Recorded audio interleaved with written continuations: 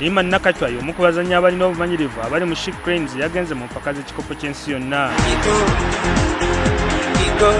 Ono alina egy'obukulu 28 era nga muzannyi wa ttiimu ya uganda prisons netball club. Yakazanyira ttiimu y'eggwanga emirundi 12 nga munawanguliddemu emidaali gya zaabu ena.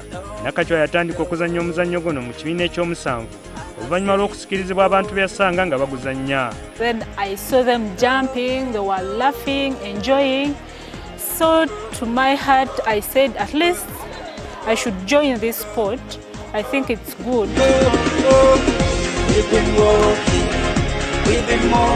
agamba nti mu kiseera kino yeegomba ttiimu ya australia ne jamaica zimu ku ze bagenza okuzannya nazo mu mpaka za world cup Australian ladies or women, they play a good netball. So I would love to be like them. Wabula agamba nti talina kinene kyamanyi ku ttiimu ya fiji emu ku ziri mu kibinja ne uganda I don't know. Maybe uh, we shall just see their video coverage, then we start learning about them. We will be ahead that day. We will be ahead that day. uganda yakwegezaamuko ne samoa ku lwokuna nga tenazanya ne zambia mu mipiira egiggulawo empaka zino ku lwokutaano sam mpoza ntv akawungeezi